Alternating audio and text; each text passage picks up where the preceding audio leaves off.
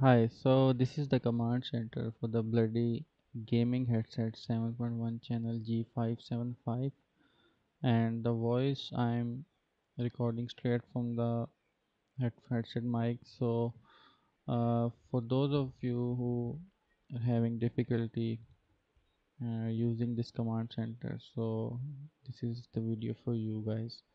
So at first you will see only these two options and it is a bit um, confusing to go inside like in the equalizer or mic settings because when you click on these you will see only these two options. So if you want more options you need to right click on these. Okay so by default it is set to volume control. So if you want to go into sample you can simply right click and more option will pop up. So go into equalizer set it up environment settings and the main thing which this has 7.1 virtual uh, speaker shifter. So set this up as per your uh, preference.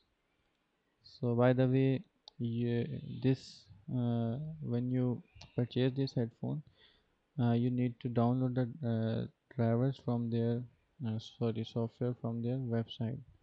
They do not give you any cd or anything. In the box they just have the headset and that's it.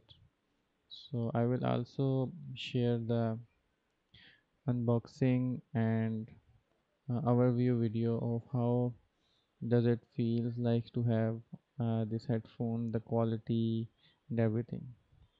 So coming back to this uh, you will have different option when you click on right uh, on these options.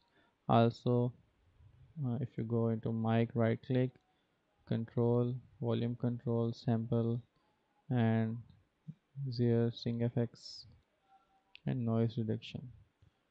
So uh, this is how you can navigate into in deep inside this uh, head headphone software. So let me know if you have any question. Thank you